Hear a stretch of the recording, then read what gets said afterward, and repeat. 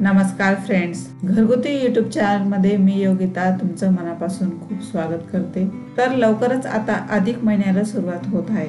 आणि या सप्टेंबर महिन्याच्या अठरा तारखेपासून अधिक महिना सुरू होणार आहे. दर तीन वर्षांनी येणारा हा अधिक महिना आध्यात्मिक दृष्ट्या अधिक महत्त्वाचा मानला गेलेला आहे. या महिन्यात कोणत्याही प्रकारचे मंगल कार्य गृहशांती वास्तुशांती वर्ज्य मानलं गेलेलं आहे. आपण या महिन्यात असे कोणतेही शुभ कार्य करू नयेत तर या महिन्यामध्ये आपण कोणती कामं करायला हवीत आणि कोणती कामं करायला नकोत याविषयीची संपूर्ण माहिती आज आपण बघणार आहोत. तर अधिक महिन्याचे स्वामित्व श्रीहरी विष्णूंकडे आहे. या महिन्यात आपण श्रीहरींची जास्तीत जास्त जपमाळ करायला हवी त्यांचे स्मरण करायला हवे. असं देखील म्हटलं आहे की श्रीहरींनी असं म्हटलं आहे की जो कोणी या महिन्यामध्ये शुद्ध भावनेने माझे स्मरण चिंतन भजन आणि मंत्र पठन करेल तो संपूर्ण कुटुंबासहित माझ्यात सामावला जाईल. आणि शेवटी विष्णू लोकात त्याचा वास राहील. म्हणूनच या अधिक महिन्यामध्ये आपण जास्तीत जास्त धार्मिक कार्य करायला हवे. या महिन्यामध्ये तुम्हाला शक्य तितके दानधर्म करा आणि धार्मिक कार्य करा.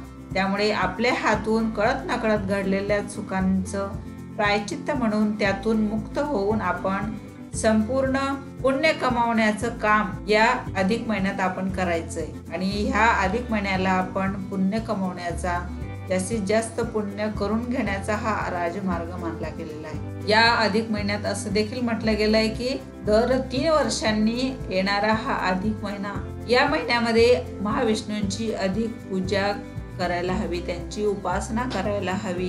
तर या महिन्यात मुळातच श्री हरी विष्णूचं नाव दिलं गेलेलं आहे. या महिन्यामध्ये विष्णू सहस्रनामावली सुप्त पठण तसेच महाविष्णू सहस्रनामावलींचं सतत नामस्मरण करायला हवं. यांची आराधना करायला हवी. महाविष्णूंच्या अनेक रूपांचे देखील या काळात पूजन केले जाते. श्री कृष्णाचं प्रभू रामचंद्र विठ्ठलाचं या महिन्यामध्ये त्यांचे आराधना करायला हवी. या माध्यमातून आपण स्वतःची आत्मशुद्धी करून घ्यायची असते. आपण स्वतःला आतून स्वच्छ करण्याची चांगली संधी या महिन्यात असते. या महिन्यात उपासना देखील केली जाते पण या उपासनेचे देखील काही नियम आहेत बरं का? तर जसं साधकाने फक्त एकच वेळेस जेवण घ्यायचे असते म्हणजेच एकच वेळ जेवण करायचं असतं आणि जास्तीत जास्त लोकांच्या मदतीसाठी धावून जायचं असतं. या महिन्यामध्ये आपण जास्तीत जास्त दानधर्म करायचा असतो. शक्यतोवर आपण जमिनीवर झोपायचं असतं. दिवसभर विष्णू सहस्रनामाचं स्मरण करायला हवं. स्वतःच्या रागावर नियंत्रण आणायला हवं. तसेच या अधिक महिन्यामध्ये अन्नदान सुद्धा खूप महत्वाचं मानलं गेलेलं आहे. म्हणूनच आपल्या योग्यतेनुसार अन्नदान करायला हवे. म्हणजे या महिन्यामध्ये एक रुपयास तुम्ही जरी दान केला तरी ते लाखाचं लाख मोलाचं दान मानलं गेलेलं आहे. म्हणूनच हे दान करताना योग्य लोकांपर्यंत हे दान गेलं पाहिजे. नाहीतर चुकीच्या लोकांना दान करून तुम्ही याचा गैरफायदा घेतील. तसेच या महिन्यामध्ये वस्त्रदान किंवा इतर कुठल्याही गोष्टीचं भगवद्गीतेचं दान महाकाव्याचं दान करा तुम्ही.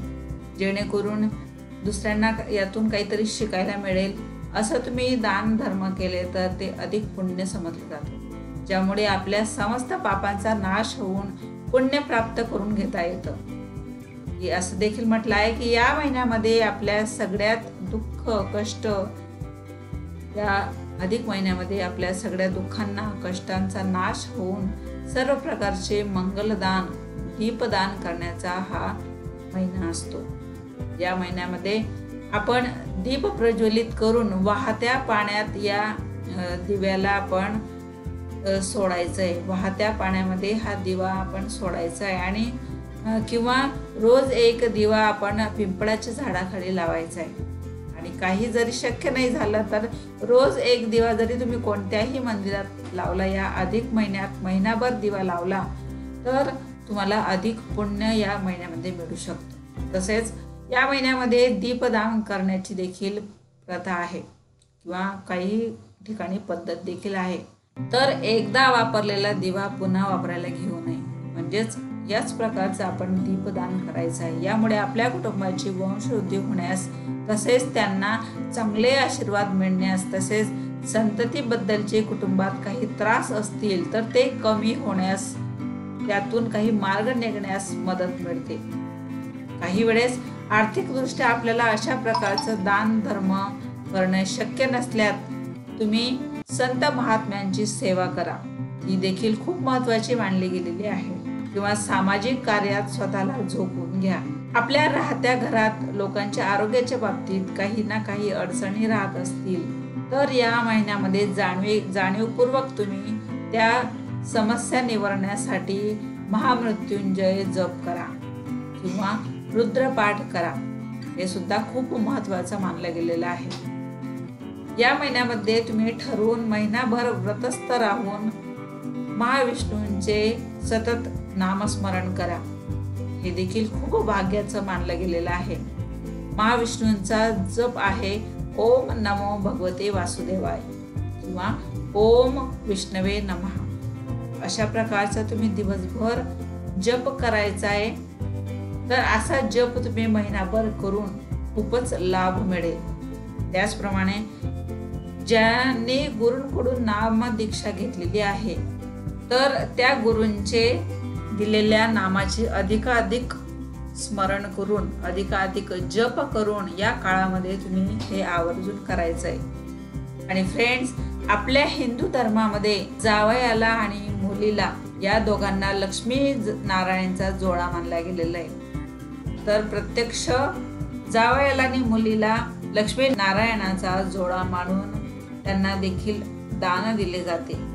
या अधिक महिन्यामध्ये विशेष करून जावयाला दान दिले जाते. या दानामध्ये तेहतीस अनारसे बत्तीसा किंवा हे अनारसे बत्तीसा एका चांदीच्या किंवा तांब्याच्या ताटामध्ये ठेवून आणि मध्यभागी दिवा लावून हे सगळं दान जावयाला देण्याची प्रथा आहे. किंवा जावे नसल्यास भाच्याला देखील दान हे अशा प्रकारचे दान दिले तरी देखील या महिन्यामध्ये आपल्याला जास्तीत जास्त पुण्य कमवता येतो. फ्रेंड्स ही अधिक महिन्याविषयीची माहिती तुम्हाला कशी वाटली हे कमेंट्सद्वारे नक्की कळवा. आणि अजून तुम्ही घरगुती यूट्यूब चॅनल सबस्क्राईब केलं नसेल तर सबस्क्राईब करा आणि बेल आयकॉनला देखील क्लिक करा. म्हणजे माझ्या येणाऱ्या नवीन व्हिडिओची अपडेट्स तुम्हाला नक्की मिळत राहतील. तर पुन्हा भेटूया अशा छान छान व्हिडिओसोबत धन्यवाद.